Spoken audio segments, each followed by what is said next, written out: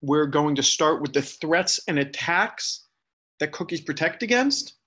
And then we will go into the details on how cookies work. After that, we will look at Dig to explore DNS queries and responses with cookies and show some specialities that happen when using Dig. And if time allows, which it probably won't, uh, we would look at the configuration of cookies and various options related to cookies inside the world's most widely used DNS server, the open source server, Bind. Like the other material, this all comes from the course DNS and Bind Week. This is day four or five.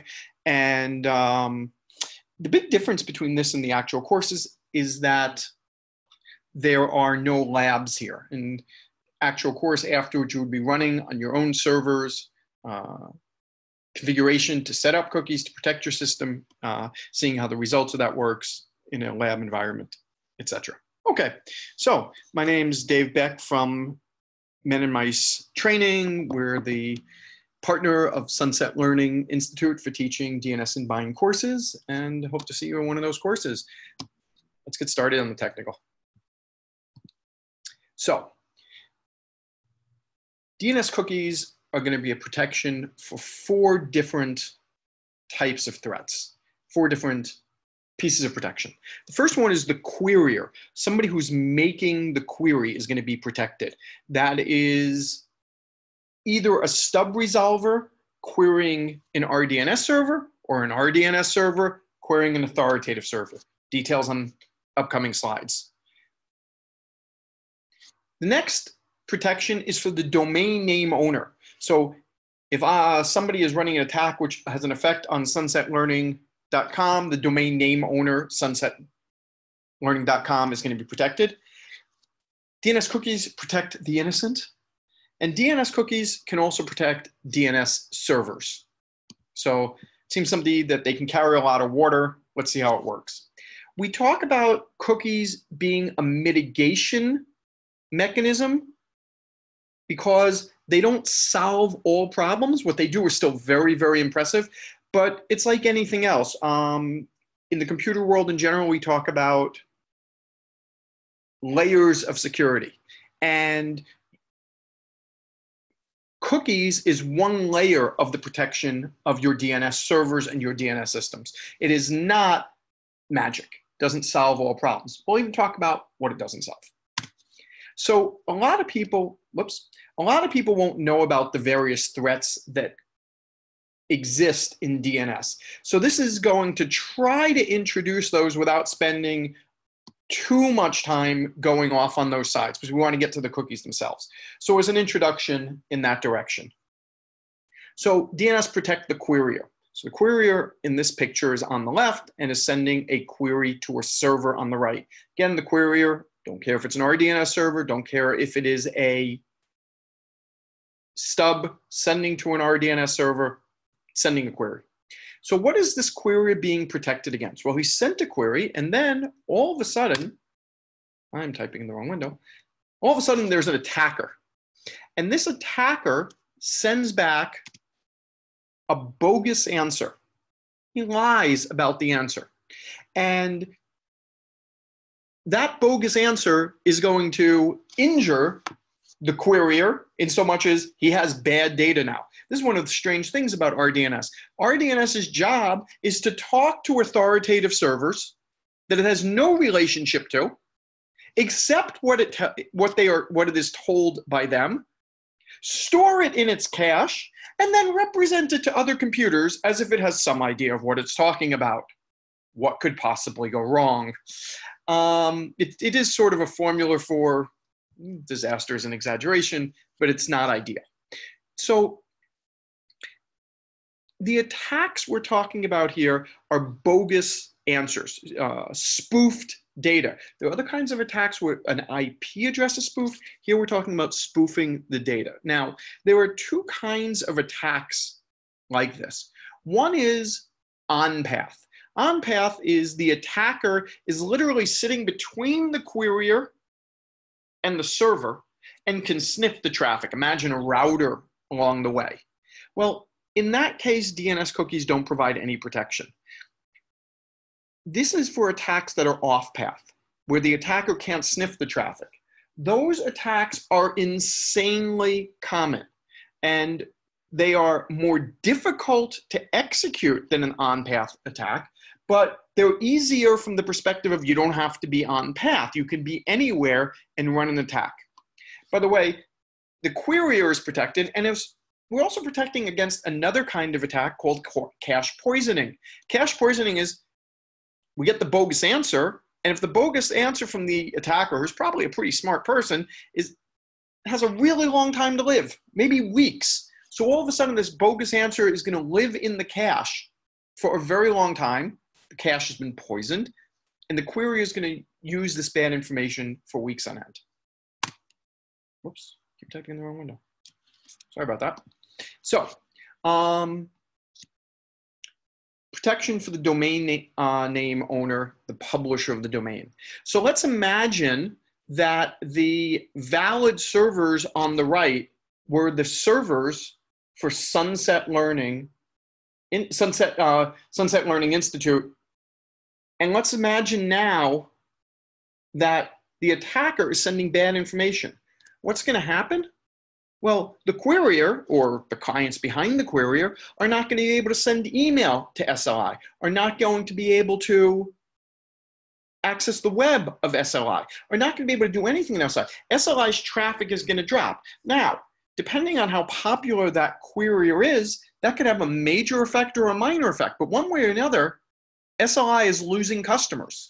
And if we imagine the querier in an extreme case was Google such as the RDNS server 8.8.8.8, then it could be way over 10% of the traffic that SLI would get worldwide could disappear. Um, last statistic I read is worldwide, the 8888 and other DNS servers, RDNS servers from Google are providing approximately 12% of the world traffic. Okay, so anyway, going back to the point, the cookies are going to protect the domain owner. And this is the same protection if, as on the previous slide, if the attacker can't poison the cache, if the attacker can't give a bogus answer to the querier, then the querier won't accept that bad information, protecting the owner as well. Now, protecting of the innocent. On the left, we have an attacker that is spoofing not data, not record data, not an A record, but spoofing in his query the IP address. In other words, he's sending out a query and using an IP address that is not his own. And the IP address that he's using is the IP address of his victim. And this attacker is going to send many, many, many, many queries to what are open RDNS servers. Open RDNS servers are RDNS servers, and there are a couple tens of millions of them in the internet, that will answer queries from any client. These are very, very badly administered RDNS servers. Will the 8.8.8.8 answer queries from any client? Yes, but it's purposely designed to be open. I would call it a public RDNS server. These were never designed to be public. So what's going to happen is the attacker is going to send many queries to the RDNS servers. And it's going to be even more queries than you can imagine because if the attacker is using a botnet and there's not only one attacker computer faking the source IP address, but hundreds, thousands, or even hundreds of thousands, the attack can be massive. So we're going to show it with only one client. So here is the attacker sending a query, and then the targeted victim, whose IP address was spoofed, is getting all of these responses. Now, what this kind of attack is depends on how it's executed. What we're showing here is the most common type of way of using it. It's called a denial of service attack because there's going to be so much traffic going to the victim that it won't be able to handle normal traffic. Denial of service is an easy concept to understand. Imagine you are mistreated in the morning in Starbucks and they have been really rude to you and the management's been really rude to you and you want to get back at them. You don't want to do anything illegal. You don't want to, you know, you want to get back at them. Well, what happens if you do a little study and you find out the busiest time of day for Starbucks is between 7:30 and 8 o'clock in the morning, and on an average weekday, that Starbucks has let's say 100 customers in that 30 minutes. Well, what happens if you organize a thousand people with the internet, a thousand friends, say, look, I want you all to come to Starbucks at 7.30, 7.35 tomorrow. Don't want you to be rude. Don't want you to do anything inappropriate. Just wait in line. And when you get to the front of the line, start ordering something. Uh, I want a cappuccino with the, oh, no, wait, I don't want that. I want, and then excuse yourself and say, you know, something I've decided not to order anything, and very politely leave. Well, what's going to happen is there's now, instead of 100 people, there's going to be 1,100 people at Starbucks. And it's quite possible that the first person, maybe even the first two people, are going to be normal customers, and they're going to get service. But then the next three, four, five, six people are going to be your friends. And maybe the next valid customer is the seventh or eighth person in line. On average, they're going to be every 10th person. And those people are going to get much slower service, and people further back are just going to leave because they're never going to get served. That's an example of a denial of service attack. And because many human beings in this case were involved, a thousand, we call it a DDoS attack, a distributed denial of service attack. Because this attack is showing an attack off many, many RDNS servers, it's a distributed denial of service attack. Additionally to that, we can call it a reflection attack. The attacker has spoofed the IP address so that the responses are being reflected off the RDNS servers at the victim. And then finally, you'll notice the response arrows are much fatter than the query arrows. That's because this is also an amplification attack. All DNS responses are larger than queries. They can be several hundred times larger could get a query that's down near 30 bytes and a response that's over 4,000 bytes. And that's then an amplification attack. You get a lot of bang for your buck as an attacker. Anyway, DNS cookies are also going to protect these innocent victims. And finally, DNS cookies protect DNS servers from being misused in reflection attacks. And that's both for authoritative and RDNS servers. To be clear, the attacks I mentioned on the previous page are one of several types of attacks where reflection is used. There's other ways of using that. There's other victims. That was a standard example. So why are servers protected here? Well, first of all, the server might have less of a load. It might not be a victim itself of a DNS attack. So let's imagine for a moment that the attack was sending so much traffic to the DNS servers whether authoritative or RDNS, that they effectively slow down and maybe even experience the denial of service. And even if that's not going on, they are being misused, these RDNS servers, as part of the attack. In other words, they're part of the problem. So cookies protect in this case as well. And what happens is cookies allow DNS servers to more quickly notice that IP address are being spoofed and either kill the amplification, they'll still respond, but they'll kill the amplification so the attack is less severe, or they'll be able to literally drop queries. So lots and lots of wonderful things that can happen here. Those are the basic protections. So here we go. DNS cookies provide protections for the querier, which is the most important part. You are not going to get bogus information. The domain name owner is protected, the innocent are protected, and DNS servers can be protected. Now, protection for the queriers and domain name owners is automatic. You don't have to configure anything as long as both the client and server support cookies, this protection is there. If they don't support it, one side or the other, then cookies are ignored anyway. To protect the innocent and DNS server, you have to configure it. Of course, if you're configuring bind, it's only one line of configuration, so it's not that difficult. So uh, I mentioned this earlier, cookies only protect for off-path attacks if the attacker can sniff the traffic, if the attacker can see the query, there is no protection at all. Okay. Um, we require support on both sides both the client side and the server side. If one or the other does not support cookies, they are simply ignored. There is no problem. Um, if a client queries without a cookie, then the server will simply answer without a cookie. If the client queries with a cookie and the server doesn't support it, the client will be, the query will be perfectly happy. If you know what port randomization is, something we implemented in DNS on a wide scale after a very severe attack against DNS back in 2008. It's the Dan Kaminsky attack with random first labels, if anyone's ever read about it. Um, port randomization slows down servers. Cookies, when they're widely supported, port randomization won't be required anymore. Okay, a couple little facts.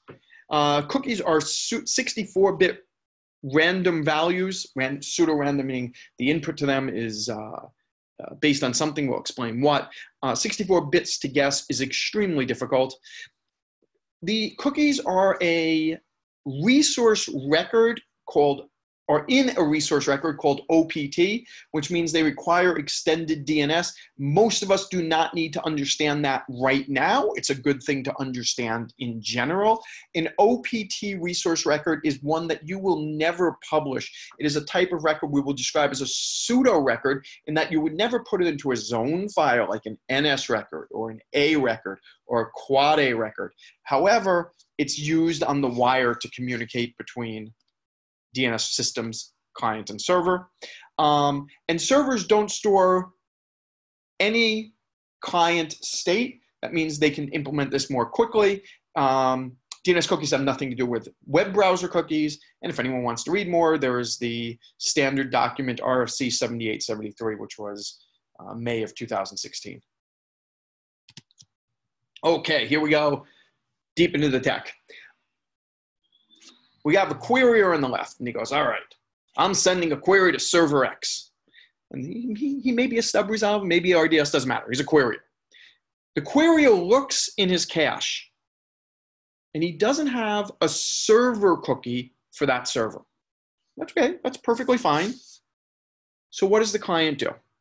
The client generates a client cookie. And the input to generate that client cookie is the client's own IP address, the server's IP address, and a secret random number that the querier has and never publishes. Okay. If you keep putting the same input in, same IP addresses, and same secret, you will always generate the same client cookie, the same client cookie. Great. There goes the query and in the OPT resource record, we have the cookie. By the way, that's sent in the additional section for those who are a little more advanced. It's an eDNS option. Great, wonderful. What happens over on the server side?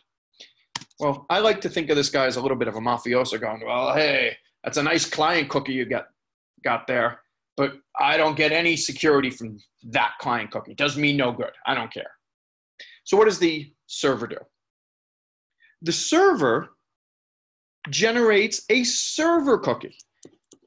And that server cookie uses the following input the client's IP, the client's cookie, and the server's secret.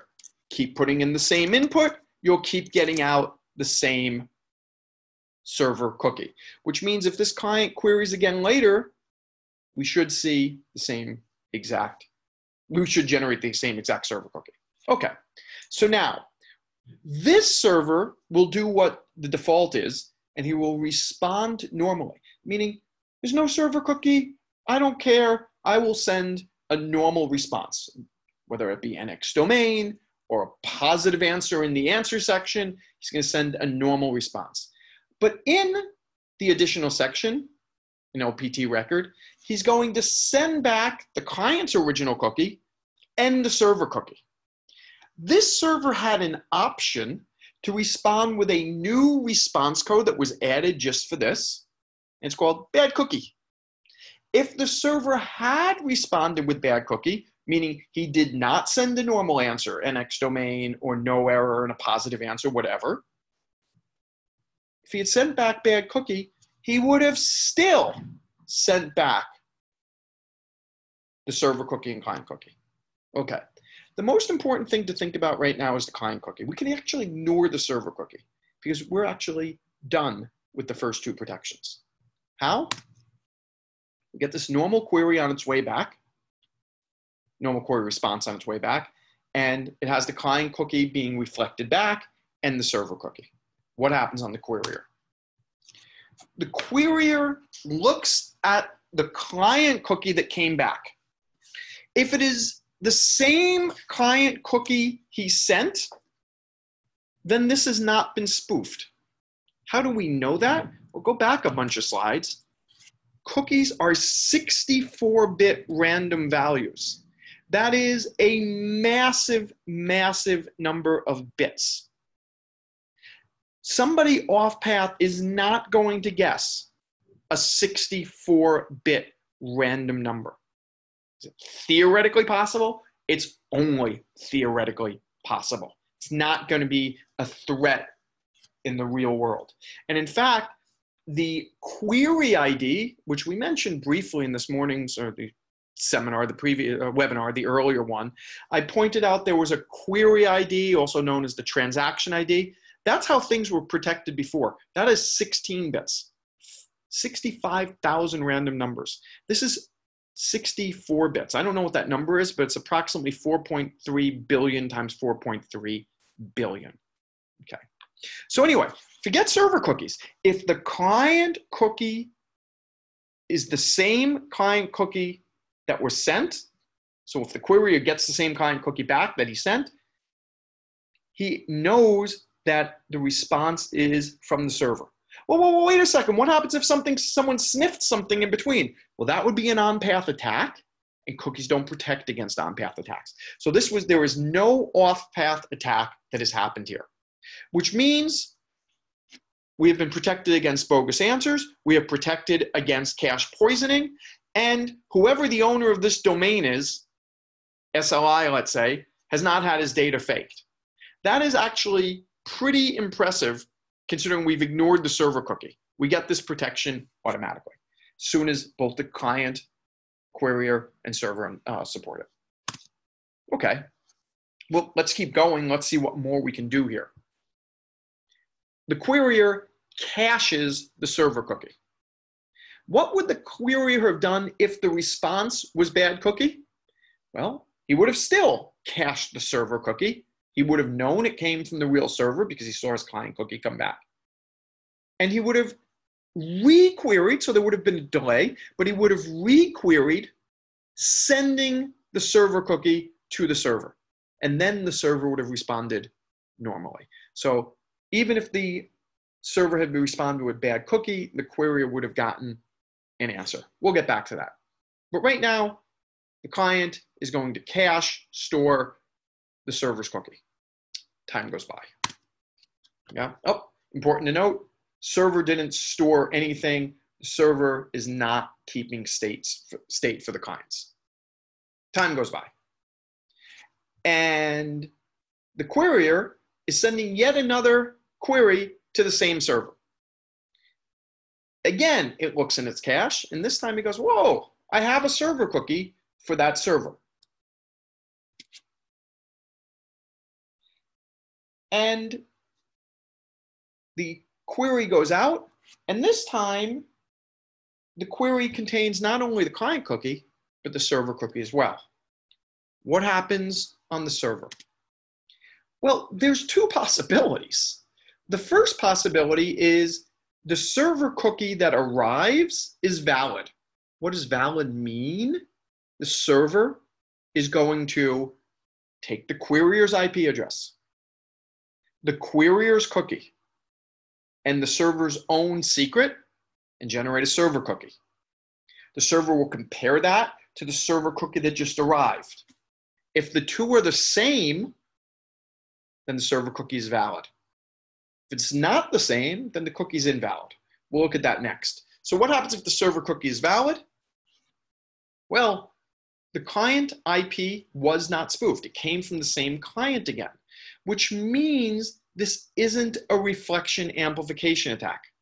Yeah, there is no denial of service going on here, which means further that this server can work more efficiently. it can ignore other security features it has, such as response rate limiting. What happens? The server responds normally, whether that be a positive answer, a delegation, NX domain, doesn't matter. Responds normally, and it again sends the client cookie and server cookie. Why is it important that it sends the server cookie again? Well, it's possible that the server's secret changed. And if the server's secret changed, the client needs to make use of that. If the server secret changed, why did the server accept a, sec- uh, a, a server cookie based on its old secret? Because when you change your server cookie or even your client cookie, you generally keep around your old one for some bit of time so that you have an overlap. Okay, so there we go. Server cookie was valid, everyone was happy. The server knows that it was not a reflection attack, an amplification attack, that there was no spoofing going on. But what happens if the server cookie is invalid? Well, don't panic right away because there's a lot of reasons the server cookie could be invalid. Yeah? The first possibility is maybe the server secret changed and it didn't know the old secret that it had previously used. That shouldn't happen, but let's imagine for a moment the server had been rebooted, its memory had been erased, whatever the problem was, and it had to generate a new server uh, cookie. Then in that case, there's no attack going on, just server cookie changed, uh, server secret changed. Maybe the client's cookie changed. It's possible. Again, that would mean a non-attack.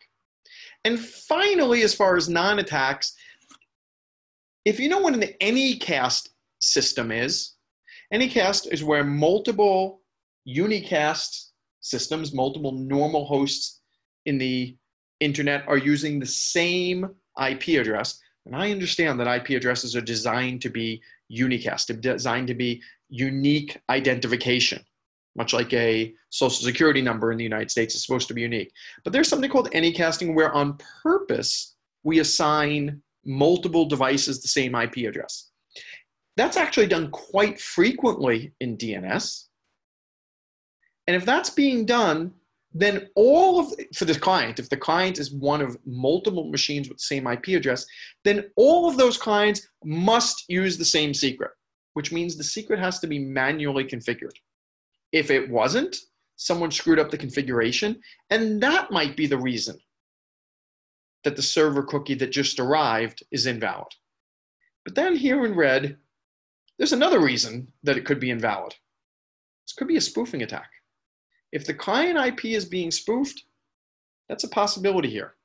Yeah, and that's what we were guarding against. So now comes the question, with that list of options, what does a server do? Well, it had the same exact options that it had if it got no cookie before. First option, it could send back bad cookie, which we said bind doesn't do by default, but now is starting to make sense send back bad cookie. In that response, you will send the proper server cookie. If it is a real querier, meaning the IP address is not being spoofed, it will re-query sending the server cookie again, and then you can respond normally. Well, if you don't send bad cookie, the other option is the default.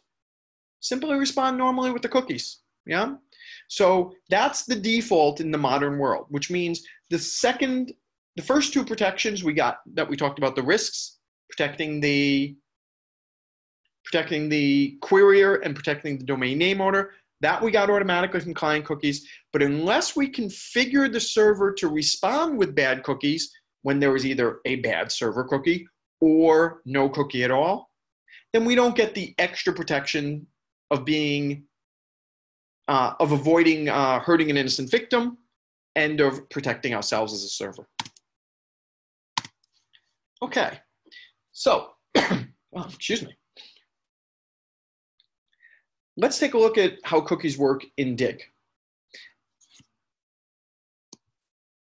So the command up above here, dig and then this plus no CMD, plus no QU, plus no rec. What is that? Well, what we're saying is no command section in the output. The eDNS has seven, uh, the dig, the dig, excuse me, has seven different sections of output that you can turn on and off. And to fit on my slide, I removed some of those sections. First one is the CMD section, which uh, is up at the top of repeating back the query and uh, uh, showing what was typed. Then as showing the version of dig. No question, under normal sections, the query in the response is shown. It's not shown here, so just removing unnecessary output. This query is being sent to an authoritative server directly. So to be polite to the authoritative server, I have said plus no recurse. I've shortened it to no rec.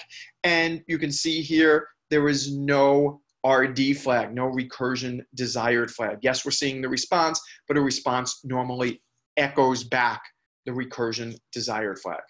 We are sending this to an authoritative server that I know. A colleague of mine runs that server, and this is his zone, his domain, dnsworkshop.org, and we are querying the A records for that. Okay, and we're getting back an answer. And the answer is down here, and everything's lovely, and we're all happy. It's an authoritative answer. But look what came back technically in the additional section, but it's shown by dig as an opt pseudo section. It's really in the dig, in the additional section technically. Opt pseudo section. It's in eDNS, extended DNS, and there is one big long server cookie. And the word good at the end means that it's valid. Yeah? Okay? Keep going. So even if you don't plan to work with uh, cookies, if you're running a modern version of Dig, you're going to be seeing cookies show up in every query you make. It's worth knowing what they are. So, um, this is running the exact same query twice in a row to show a very strange thing. The server cookie that's getting returned is different. 8F, 4, 5, 4D, you know, the, why is that? Well, it's because of a bit of a strangeness in Dig. Dig is not a normal client. Why is Dig not a normal client? because it doesn't save state. It doesn't have a file that it always uses for its client cookie. So every time dig runs, it generates a new client cookie. Because it's a new client cookie every time, the server cookie is going to be different every time. Aha. Uh-huh. That's going to get into a couple weirdnesses using dig to play with cookies.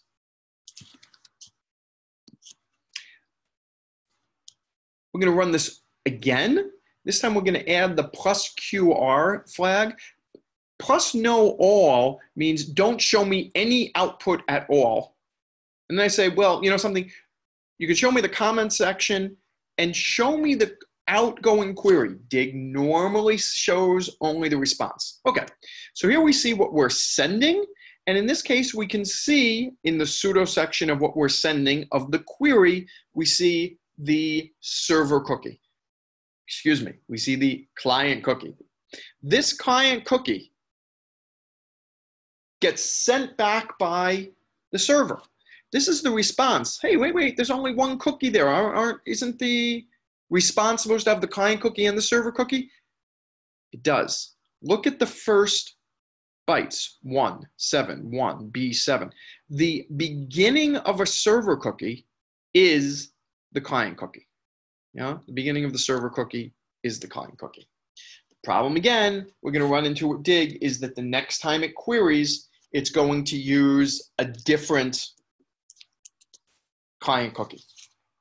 A normal querier, stub resolver, our DNS server is going to keep using the same client cookie over and over again. Dig's a bit weird. Okay, in a logical way. Um, where does all this stand? Well, dig is part of bind. I should make a definition here, I can look at the word bind. I can look at bind meaning two meanings. One is it's the most widely used DNS server in the world, running many of the root servers, um, uh, running some of the biggest DNS servers in the world, both recursive servers and authoritative servers. That server is called bind, or you could call that server named, which is the name of the program, name of the process when it's running. And then you could use bind to have a second meaning. All of the other software that comes with that name server. And one of those pieces of software is Dig. And many of the other pieces of software have to do with making your life easier with a lot of test tools, a lot of publication tools, etc. So the versions of dig increase together with the versions of bind. Since bind 911, dig or dig 911, dig sends cookies automatically. So that's now on by default. There was support earlier, but it's on by default. Now, there are new options added to dig that explicitly support cookies. There are other options that have something to do with cookies for example, options that have to do with the whole eDNS section. If you tell it not to send the eDNS section, then the cookies go away as well. But we're just going to look at the moment with these three options that are, uh, that are related to and sent with dig. What's the first one? Either plus no cookie or plus cookie. Plus cookie means that dig acts as a client and sends a client cookie with every query it generates. If you want to send a query without a cookie, you could say plus no cookie. Great. Now, if you say plus cookie, the default, what happens if the authoritative server or resolver also, but for us, let's say authoritative server, let's say the authoritative server responds to our query with bad cookie. What's going to happen? Well, without any configuration, Dig would do the same thing as any querier. It would query again, sending the server cookie. And you would never see that because Dig only shows the final response. If Dig queries for something and is given a CNAME. C name is effectively an alias telling it look up another record. It shows you the final response. If dig queries for something and is sent back a message that says, that is too much information for me to send in a message, you should requery me using TCP instead of UDP. And that's uh, done with a special flag in the header called the TC flag, stands for truncate. So if dig makes query gets back a TC flag, what does it do? It doesn't bother showing you that. It simply requeries with TCP and then shows you the final result. And this is the same thing. If dig sent a client cookie and got back a response bad cookie, then it would query again sending the server cookie, and it would show you a totally normal response, and you would never see that bad cookie message. Great. And the third and final cookie option for dig is plus cookie equal, and then you can type out a specific server cookie or a specific client cookie if you want to send a specific one for testing. In fact, the slides will show that in the next few minutes. Okay. So um, this is probably a bit too detailed. I'll go over it a bit quicker just to make sure we move forward, but I, I think it's of interest. Um, so here we go, up above, I have run a dig and I have looked for the cookie coming back. And the valid cookie that this server would expect is this one, 6EE blah, blah, blah, blah, blah, blah, blah. Great. Now we're going to run a dig, and I'm going to say, I don't want to see the output except for the comment section this backslash is just a Unix system idea or command line option in Unix or Linux that says continue the line on the same line. Don't accept my next return. I'm just making things fit better on the screen. So continue on the same line. Dig plus no all, show me only the comment section, plus no bad cookie. If you get a bad cookie back, don't re-query. That's what I'm telling Dig. And then what I'm doing is I'm telling Dig, and this is the cookie to send. And what cookie are we sending? We're sending a different cookie than what's up here 0, 1, 2, 3, 4, 5, 6, 7, 8, 9, 10, A, B, C, D, E, F. Boom. That is not the right cookie. We are purposely sending a bad server cookie to the same server, ns4 tiedoc.de. We're sending a bad cookie and we're telling Dig not to requery if it gets a response bad cookie. What happens? Will the server respond with response code bad cookie? No. Good answer, John. Well done, sir. And the, um, the reason that the answer is no is because the default configuration of a bind server is to never respond with bad cookie. Simply say, ah, here's the normal response, and I'll send you the proper server cookie to use for the next time. So the server didn't respond with bad cookie. I just explained why. Yeah. Instead, the server simply sent back the proper server cookie. Okay. Now, um, so it could have responded normally, which is what it did, and it included the client cookie and the server cookie uh, that is the new cookie, which leads to a really interesting situation. Dig, no matter what you do with it, can never show a cookie that's not good. Because you can't, well, it could, but only if a server is supporting it as well. In other words, if you query a standard configured standardly configured bind server that never responds with bad cookie, then you will never see a bad cookie. You're just going to see good cookie, good cookie, good cookie, good cookie, because the server will always send back some new cookie no matter what the client sent. An interesting little strangeness related to Dig always sending a different client cookie by default. Okay. Now, by the way, this, sorry, this little text box is just saying what I explained to you, uh, before clicking so that the dig cannot get a bad cookie response. No client querying tool can get a bad cookie response if a server is not respond, uh, configured to, set, uh, to send it. Okay. So now, let's go and actually see a bad cookie. What's happening here? Well, I set up a server that is designed to respond with bad cookie. Dig throw away most of the response, show me only the comment section. Comment section is very poorly named. It would be a lot better if it was called header. Yeah, DNS message effectively has five sections, a header section, and then uh, a question section, an answer section, authority section, and an additional section. And I'm saying I don't want to see any of that stuff. I only want to see the comment section. And by the way, Dig, if the server sends back bad cookie, don't requery, show it to me. So we send that to a server. The server is 192, 168, 53, 252, and we query for some domain name. And what the server sent back was status, response code, bad cookie. Bad cookie. Aha, bad cookie. But what did the server also send back? It sent back a new cookie that this client, Dig, should use to requery to get a response.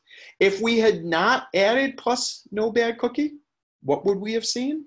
We would have seen status and a normal status, probably no error, because Dig would have queried again automatically with this response. It wouldn't have shown us this bad cookie response at all and would have only jumped to the final response. Okay. Um, ah, okay, so that's dig. The, the big thing is it uses a different client cookie for every query, adds a bit of uniqueness, and then we had those three options. Okay. What's next? Well, last thing we can play, play with is to take a look at cookies inside named If a query has a valid server cookie, then named is going to not apply what's called response rate limiting. What's response rate limiting? Response rate limiting is, whoa, look at all these queries, these identical queries coming from the same IP address or same range of IP addresses. This may be a spoofing attack. This may be a fake IP address. And if I answer all of these queries, I'm going to be making the internet a worse place. And not to mention, I have a lot of work to do. So, what response rate limiting does is it tries to identify spoofing attacks. When so many identical queries continually reply, doesn't have to be identical, there's a second option, but the default option, identical queries continue to come in, it recognizes the problem. And then it doesn't want to be cruel and not answer any queries because you know maybe some of those are actually valid you know maybe the spoofed client is actually sending some of those clients is just you know he's an innocent victim as well. So response rate limiting is just hitting the brakes slowing down the responses. How can we do that? Well one way is we can drop every 10th query, every fifth query, every second query. And in fact, that's the default when you configure this. It's totally configurable in Bind that you drop every second query. Yeah, don't respond to it at all. And the other way to fight against that attack is to respond, but respond with the TC flag that I mentioned earlier. The TC flag, the flag that says, you should query me again, but use TCP. How does that help the problem? Well, amplification is you sent me a UDP query, 30, 40 bytes, and I sent you a big fat 3,000, 4,000 byte answer. Or even if it's just a hundred, a couple hundred bytes, you got amplification out of that. But if I send back TCP flag in my UDP response, hey, query again. Well, a spoofed client that gets that is going to go, I didn't make the query in the first place, so it doesn't query again at all. That response is very small because it doesn't have the amplification. And a real client won't suffer much because a real client will query again with TCP. So TC is actually a better way to handle response rate limiting. And what Bind does by default is it does a mix. It drops one and it TCs one. It drops one and it truncates one. Okay. Now, Inside of named there are six configuration options that have to do with cookies. Only one or two are directly really fascinatingly important. We'll look at that all six quickly. So if you know named is configured typically from a file called named.conf, there is a global option called options and everything in options um, is uh, configuration for the whole server, and there are six configuration options related to cookies, directly related to cookies. So the first one, require server cookie. And that's a boolean. A boolean means you can say true, yes, or one, and we'll turn it on. The default is no, which is the same as off or false. And this is what will make the server respond with bad cookie? The default is no, so under normal circumstances, it will never, ever, ever respond with bad cookie. Yeah. So this is the big option. You want to turn it on? Global options, require dash server dash cookie. Yes. The next option, cookie algorithm. What algorithm should it use to generate its secret? And unless you're a cryptographer, leaving the default of AES is absolutely fine. You know, other options are SHA-1 and SHA-256. Cookie secret, where you literally give it the secret, so you don't let it generate its own secret. Talked about anycast situations before. In anycast situation, you have to do that because all of the machines in the Anycast, all of the machines sharing the same IP address must query with the same IP, uh, with the same secret and if it doesn't, you're going to have a configuration problem. Okay, so certainly a more advanced feature, only majorly of interest if you use Anycasting.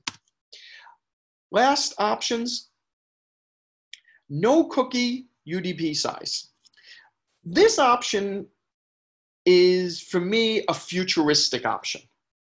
And it's an option against what would be a downgrade attack. What's a downgrade attack? Well, in this case, what it would be Let's imagine a world where cookies are very widely implemented. That might take 10 years to get to, but over time, things get implemented. And cookies are being implemented relatively quickly, so we're seeing them more and more. So at some future date, the mass majority of clients and servers support cookies. So what's a downgrade attack? Well, let's imagine I am running a DOS attack and I'm spoofing the IP address of another system. Well, if I send it without any cookie, and there are no cookies, then cookies are ignored. They provide no protection. So I can get around the protections that cookies provide as an attacker just by sending no cookie. I didn't send a cookie. Sorry, I don't support it. Well, right at the moment, you probably get away with that. But as the world gets to have more and more and more clients that support cookies and say the mass majority that, that do, then what the administrator of this server can do is he can say, okay, that's fine. If you have no cookie, I will limit my response size to be very small. The default here is 4,096 bytes. That is not a random value. That is the absolute largest response that a server can ever send with DNS, and only if extended DNS is used. eDNS. Without eDNS, that limit is actually 512 bytes. But look at this. We could set it all the way down to 128 bytes. So if there's some huge future where everyone uses cookies, and now we got a query without a cookie, we could say, well, great, query me again with TCP. My lowest maximum is 128 bytes or something a little bit higher. Sorry, your response goes over that. TC flag. And if it was an attack, we just thwarted it. Now, the last option here, send cookie, where you can literally turn it off on the RDNS server. The other options are more for authoritative servers. Bind is both authoritative and client. This is saying, you know something? I don't want to send client cookies. And by default, you wanted to send client cookies. So the default is yes. Why would you turn it off? Well, let's imagine for the moment you are querying frequently an authoritative server that not only doesn't properly support server cookies, it is so badly designed or configured that it breaks when there are cookies. Now, that should never, ever, ever happen. Cookies are designed to be ignored. That is in the original standard of eDNS, even before cookies were written. Options that are not understood are ignored, which means if sending a cookie breaks a zone that you are querying, that zone itself is broken. Well, that's great, except, you know, oh, so they're not, they're violating the standards. Wonderful. But that doesn't do you much good if your company needs to send a lot of things to that other company, if it needs to query that domain a lot. Let's imagine for the moment the, um, broken domain was, I'll use an example from Switzerland, CHCH. CHCH is the federal government of Switzerland. Happily, their things are not broken, but let's say it was. And your company, you're, you're sending in taxes, you're doing whatever things you need to do with the Swiss government, and CHCH is broken. Well, they're wrong, but you have a problem. Yeah, your clients can't do their job. So because of that, you could turn off sending cookies. Do not do this in the global options block. Instead, what you should do is set up a statement called a server statement where you give the IP address of a server and you tell it for that one or four or six broken servers for CHCH to not send cookies.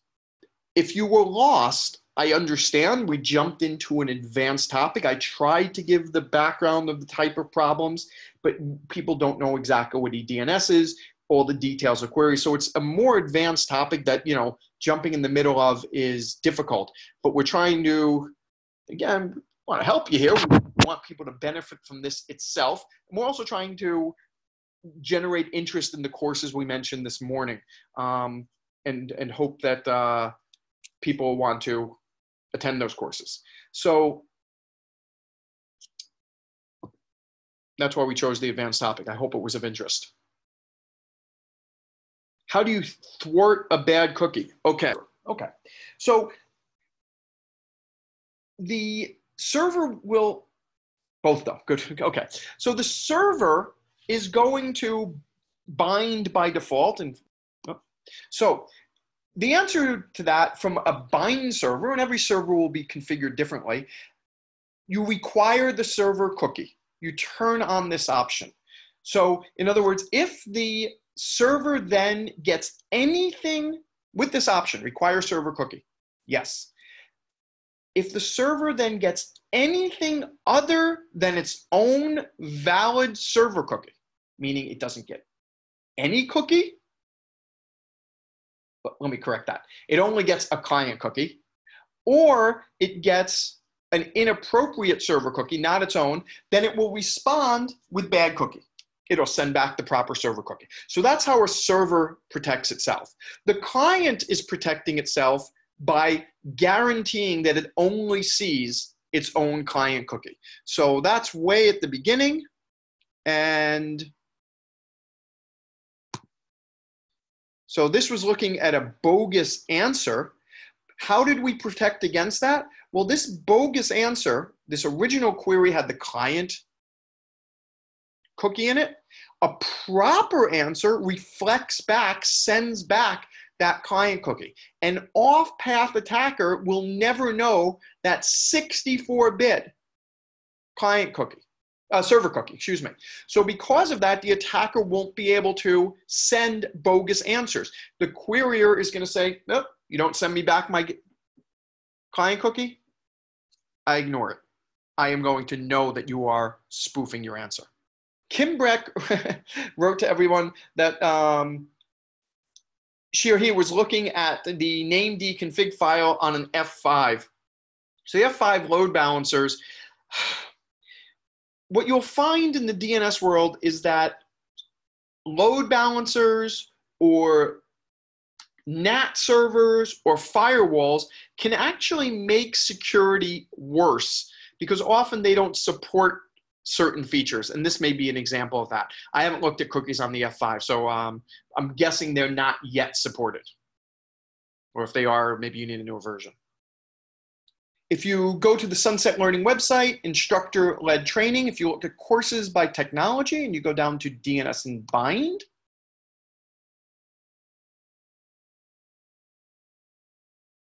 you will see three courses. The most popular is the five-day DNS and bind week. The first three days of that is DNS and Bind Fundamentals. If you click on it, you'll get a description of the courses with details.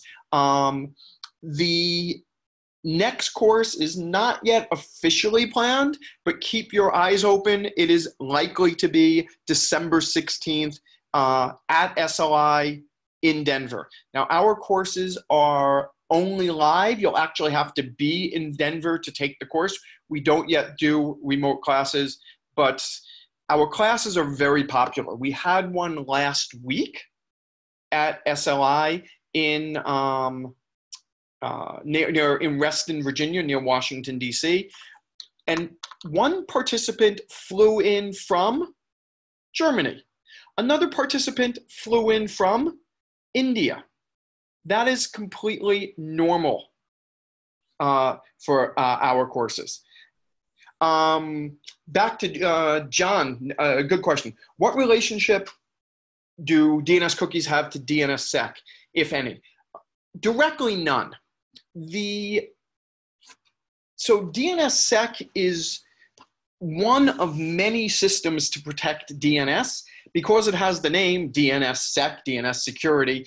People often look at it as being the only security mechanism there is. Um, I will say now, I mean, they they're they're in, in two different worlds. So let's briefly. We already discussed what DNS cookies do. What does DNSSEC do? DNSSEC is a validation mechanism to know that the response you got is a valid response. So there are lots of things where you need to know that what you're doing is the real thing. So, for example, you go to a website you go to the website uh, American.com, which I think is where American Airline is, American.com, and you're planning to give them your credit card information at the end of this. How do you know that's the real website? Well, the browser has a little lock symbol here up in the up in the corner, which, uh, by the way, is pretty questionable how trustworthy it is. It means that bet- what that lock symbol means is between you and the server that sent you this web page, the information was encrypted. So there was nobody in the middle, no man in the middle attack changing it. However, what you don't really know is if it truly came from America. That is supposed to be proven by certificates. Unfortunately, certificates are pretty much a failed system in the web browser world. Okay. What's the equivalent of that? Well, if I do a query for American.com and I'm given a fake IP address, or I'm trying to send an email to my friend at gmail.com and I get a fake MX record and then a fake IP address, and I send email to someone else, that's a huge problem. And DNSSEC allows a receiver of information to validate, to absolutely guarantee and prove the data hasn't changed. So that's two different directions. Yeah, from DNS cookies and DNSSEC. John, is that good? Excellent. Um, well, 16 people stayed around from 18, not bad. Any other questions?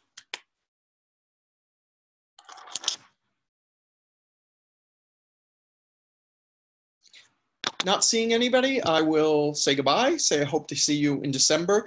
If anybody has any questions about the training or anything else related to DNS that you'd like to hear more of, um, I think you can send that through to SLI. They will get it to us and get it to me um, and we'd be very happy to hear from you. My email is david.beck at menandmice.com, but probably your best bet for finding out of courses is to speak to your sales representative at SLI.